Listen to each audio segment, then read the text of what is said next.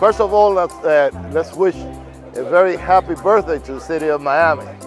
And I don't see a better way to celebrate this, the birthday of this city than to providing ice creams to the children that is going to be the future of our city.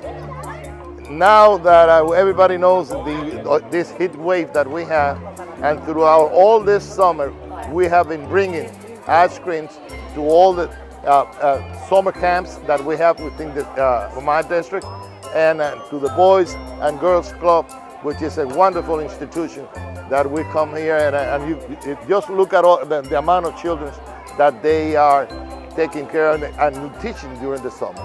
So I'm real proud about this.